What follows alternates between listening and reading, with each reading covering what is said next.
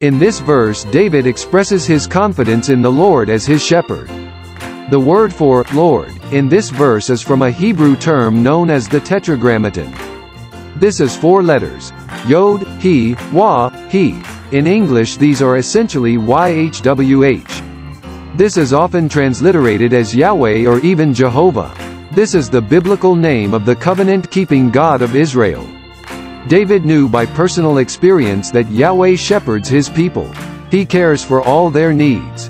When he was a shepherd boy, David cared for his sheep, making sure all their needs were met. In similar fashion the Lord cared for David. David lacked nothing. Believers, too, can be sure the Lord, the Good Shepherd, meets all our needs. He listens to our prayers, and if we call on Him, we will receive His grace and help in a time of need.